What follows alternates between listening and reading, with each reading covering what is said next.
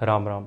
जितने लोग भी यार सरकारी नौकरी की तैयारी कर रहे हो, ठीक है, और हम बार बार हर वीडियो में एक चीज़ ज़रूर तुम्हें बताते हैं कि जो मेंटोरशिप प्रोग्राम होता है मेरा उसी से लोग मेरे पास जो सवाल लेके आते हैं, वही हम तुम लोगों के सामने लाते हैं तो तुम्हारा फ़ायदा भी हो जाता है। क्योंकि तुम्हें वो टॉपिक सुनने को मिल जाते हैं, जो शायद तुम्हारे मन में चल रहे हो, ठीक है?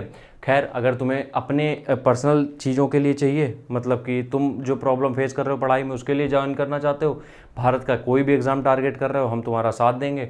पाँच सौ रुपये एक बार फ़ीस है, बस वन टाइम फ़ीस होती है, इस नंबर पेमेंट करना है, रितेश नाम से अकाउंट आएगा, उसके बाद इसी नंबर पर व्हाट्सएप पर नाम, उम्र टारगेट एग्ज़ाम में सेंड कर देना। हम यहाँ पे बात कर रहे हैं कि ज़िंदगी भर तैयारी करते रहोगे क्या? जो लोग भी पार्ट टाइम तैयारी कर रहे हैं, ठीक है? अब देखो कि कुछ लोगों की मजबूरी होती है, उनको जॉब वो नहीं छोड़ सकते, हम उनकी बात नहीं कर रहे हैं। देखो, वो लोग अपने ऊपर मत लेना।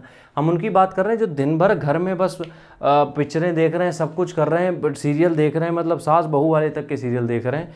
उनकी बात हम कर रहे हैं कि उनके पास इतना टाइम कैसे है कि उनको ज़िंदगी भर बस तैयारी करनी। यकीन मानो, देखो नौकरी की भी अगर एज होती है, ठीक है? अब तुम 40 साल में कोई नौकरी करने जाओगे, उसका मज़ा नहीं रहेगा।